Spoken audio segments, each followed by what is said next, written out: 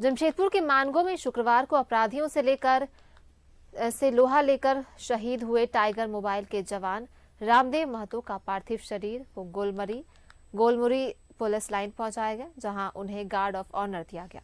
इस दौरान कोल्हान डीआईजी अजय लिंडा, जमशेदपुर जिला उपायुक्त मंजूनाथ भजंत्री समेत कई आला अधिकारी मौजूद रहे।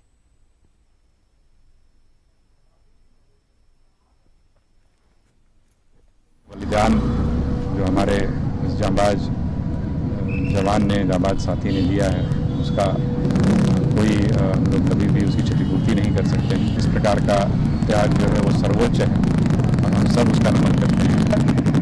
अब उन्होंने अपना सब कुछ निछावर कर दिया।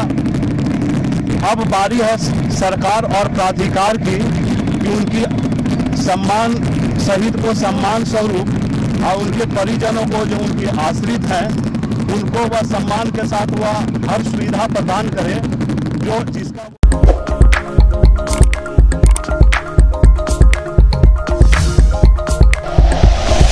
like and share videos, subscribe करें हमारा चैनल और प्रेस करें बेल आइकॉन न्यूज़ 11 भारत. सच है तो दिखेगा।